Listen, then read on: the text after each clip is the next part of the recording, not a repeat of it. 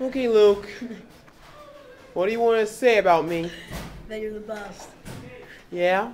And are you a fan of Justin Bieber? No, What about Selena Gomez? no. I am. I'm just trying to be seen for them so that I could be a dedicated student. You know that? Yeah, I know that. Woo. It's been a very silent day since Block 3.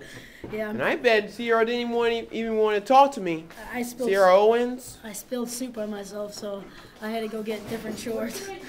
Gee, what a shame. I bet someone's going to let me sing after class. Yeah, I'll record you singing. Okay, Luke. It's the last season of swimming. All right, bye bye.